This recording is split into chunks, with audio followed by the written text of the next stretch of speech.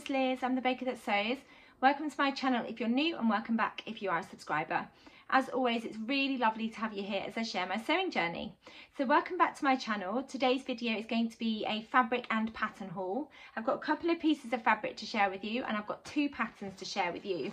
One of them is a new pattern release and then the other one is a pattern that's been out for a while but it's new to my pattern collection. So I thought I'd share that with you. Fabrics and patterns, I'll let you know what I'm wearing. And I'm wearing a hack of the Tilly and the Buttons pearl cardigan made in this cotton fabric that I got from Abercarn Fabrics.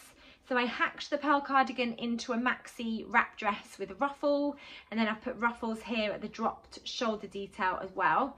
And that goes all the way down and it goes all the way around the back as well. I'll put pictures of me wearing it, but I'll stand up. You can see that it's got uh, the wrap for the pearl and then I've tied it over here. And then I've got a wrap skirt on it. And then at the bottom, we've got a lovely little ruffle that goes all the way around the back as well definitely like wearing secret pajamas and it's super comfortable to wear as well whilst feeling really lovely. Um, I made this for the Sew Yellow for Endo challenge that was on Instagram but I've loved wearing it. It feels really lovely and dressy because of this gorgeous fabric. Um, I love it. It's so lovely and bright but also really pretty with all the flowers all over it. Um, really pleased with this and I've worn it lots and it's super comfortable so I've got a stack of fabrics next to me. So I thought I'd talk through them. Some of them I've got firm plans for and some of them I haven't. And then I've got two patterns that I wanted to share with you. So I'll start with the first one, which is an activewear fabric. And I got this from Lamazi Fabrics because I fell in love with this really cute fruit detail all over it. So it's got strawberries and cherries and bananas and lemons and I just think it's really, really fun. It's got really good stretch and recovery and it'll be perfect for active wear or swimwear. And what I would like to turn this into is a swimming costume um, for my summer holidays. So I'm going away in August and so I've got a little bit of time to research what pattern I would like to turn into and I'm undecided at the moment but I'd like to turn it into a swimming costume of some sort. So if you've got swimming costume recommendation, please let me know in the comments below. Um, but I just thought it was a really interesting um, sort of fruity print, perfect for the So Fruity challenge that's currently running on Instagram. Um, I'm not in a hurry to sew it up, but I do want to make sure I've turned it into something by the time I go away in August. Um, but I just want to research because I know I want to turn it into a costume, a swimming costume rather than a two-piece set. Um, so I'm undecided about what pattern, but I know it's definitely going to become some kind of swimwear. And then the second fabric is a gingham seersucker fabric from Lamazi Fabrics. And I loved the brightness of this gingham fabric. Um, it's really lovely. It reminds me of like raspberries. I just think it's such a lovely, bright, summery print. Um, and this is going to become the Saguaro set by Friday Pattern Company's. I'm going to turn it into the top and the bottoms and I'm really looking forward to turning it into that. I've already sewn up a Saguaro set using a gingham seersucker fabric so I know it works really well. It feels lovely and light and really comfortable to wear. So I know this fabric is destined to become the Saguaro set. I've got, I think I've got two and a half meters or maybe three meters of this fabric. It's really lovely and lightweight. If I hold it up, you'll be able to see it's got a really lovely amount of movement. Not so much drape, but it is a seersucker, so I wouldn't expect it to have too much drape but it's got a lot of lovely, just floaty sort of movement to it. So I think it'll be perfect for the summertime. So I'm looking forward to turning that into the Saguaro set for the summer. Then I went to a fabric shop which is local to me. So if I can find these fabrics on their website, I'll link them down below. Um, but I've got a couple of gingham fabrics, which are sort of a large scale gingham. And then I've got one fabric that's got strawberries all over it. And then these fabrics are going to become a tiered uh, summer dress. So I'm going to sew up a straight bodice with ties for the shoulders and then three tiers that have got um, sort of gathering. So it's lovely and floaty and swishy and perfect for the summer.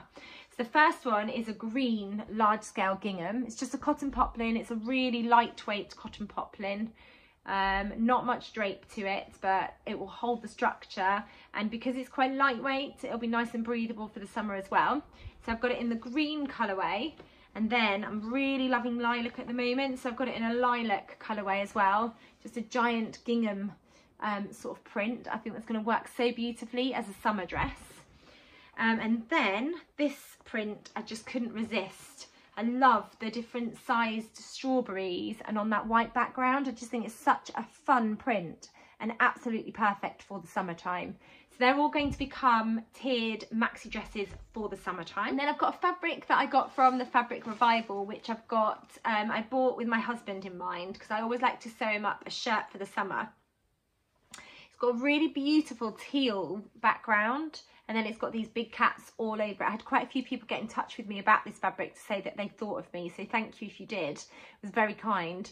Um, I would love to turn it into something for me, but my husband has nabbed this fabric, so I'm going to turn it into a shirt for him. I'm not quite sure which um, pattern I'm going to use yet, but it's definitely going to become a shirt for him. This fabric is so floaty, it's absolutely gorgeous and I think it'd be perfect for a summer shirt. I'm going to sew one up that's got short sleeves for him um, and I've got enough to sew up a shirt for him.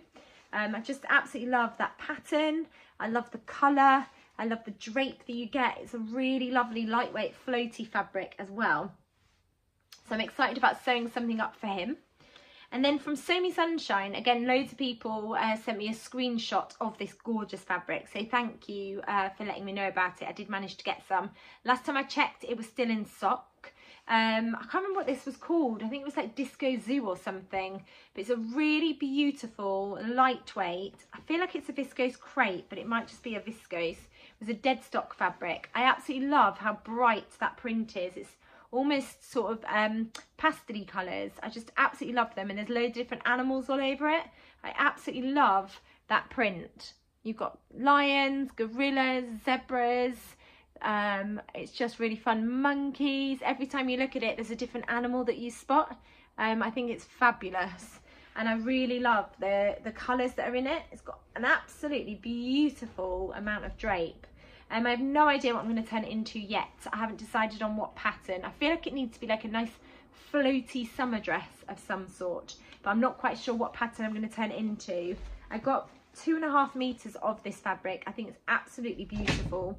Um, and if they've got any left, I will link it down below for you. They had quite a lot in stock last time I checked, but it might have been snapped up because that was a few weeks ago. Um, let me know if you've got any suggestions for what I could turn this into. It's just such a fun fabric. I absolutely love it. I love everything about it. It's a very me fabric. Um, so that was all of the fabrics I wanted to share with you today. And then I've got a couple of patterns that I wanted to talk about. The first pattern I wanted to share with you is a Jennifer Lauren handmade pattern. And it's the Isla wrap dress. And I've seen so many gorgeous versions of this wrap dress over on Instagram from the um, testers. It looks absolutely beautiful on so many different bodies and in so many different fabrics as well. So I'm really excited about giving this a try. Um, it's a perfect mix of 1950s house dress meets modern day wrap dress. It's suitable for confident seamstresses looking to upskill. And then the sizes 6 to 24 in A to D cups and then a curved size 16 to 34 C to F cups. Um, it's got grown on sleeves and a wide, gently rounded neckline, buttoned at the top back neckline.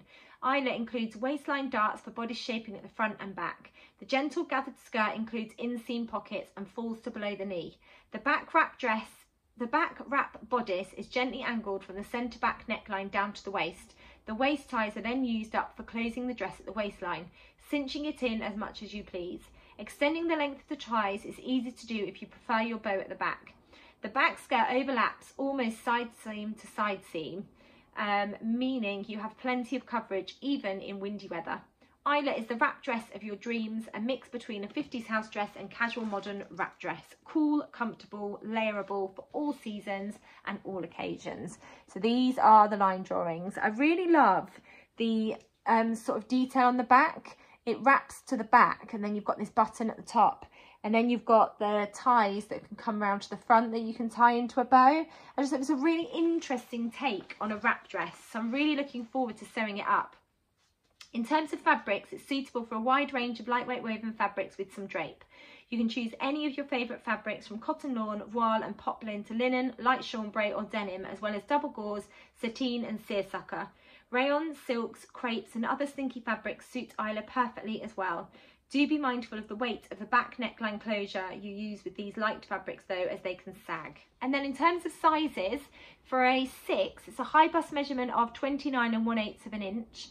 um, an A cup of 29 and a half inches, B cup of 30 and one quarter inches, C cup 31 and 1 8 of an inch, D cup 32 and 1 8 of an inch, and a waist measurement of 24 and a quarter inches, and a hip measurement of 35 and 1 quarter inches.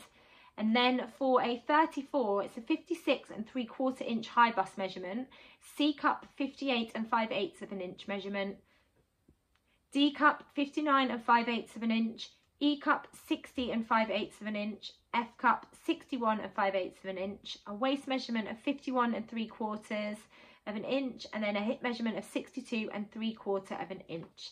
It's packed full of top tips for adjusting the pattern to fit your body shape as well. And the instructions have got lots and lots of detail as well. I absolutely love Jennifer Lauren handmade patterns. I've sewn up a few of hers.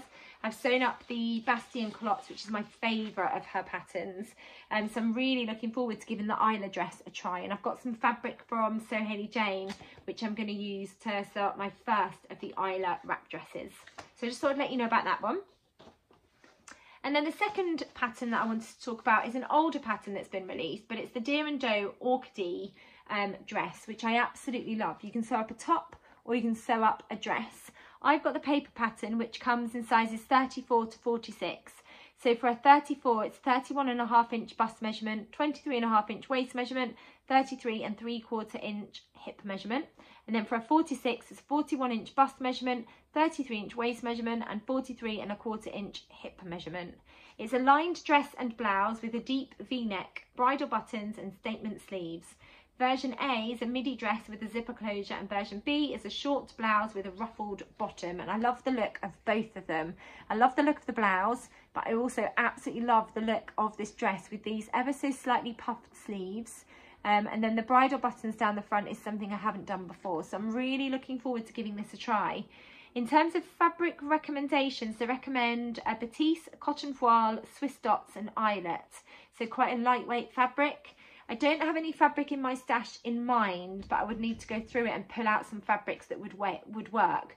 But I'm looking forward to trying both versions. And I've seen some absolutely beautiful versions over on Instagram as well. So I'm really looking forward to trying both of those. And then I said I've got two patterns, but I've actually got one more pattern that I wanted to talk to you about because it's a pattern that I've just bought and it's a pattern by Waves and Wild and it's their um oh I can't remember what it's called it's their Fell and Dale flat cap pattern um, that comes in 11 different, different sizes starting at newborn going up to extra large adult. The reason I've bought this pattern is because I'm going to sew up a flat cap for my husband for Father's Day and I'll probably sew one up for my dad as well because they both love wearing flat caps. It's a traditional style flat cap. There's an option to put elastic in the back to help with the fit as well. And in terms of fabric recommendations, they recommend medium weight fabrics like a tweed, a cord or a denim. This is a pattern that's aimed at intermediate sewists um, and I'm really looking forward to giving it a try. So when I've tried it, I'll share it on one of my videos so I can let you know how I got on and how complicated the pattern is as well. But I'm looking forward to giving it a try. My husband loves wearing flat caps, but he hasn't found one recently that he's liked the fit or the feel of. So I'm looking forward to digging out some of the denims and corduroys that I've got in my stash, uh, getting him to choose and then having a go at sewing it up. So that was all the patterns and all the fabrics I wanted to share with you today. If you've got any suggestions, particularly for the fabrics, please do let me know in the comments below what you would make with them, especially this beautiful fabric. So that's the one that I'm really undecided on. I'd really love your thoughts on that. If you've enjoyed this video, please do give it a thumbs up. And if you haven't subscribed, it'd be really great if you could hit that subscribe button. You get notified when I bring out my next video. Thank you as always for watching. Take care and I'll be back soon with another video. Bye.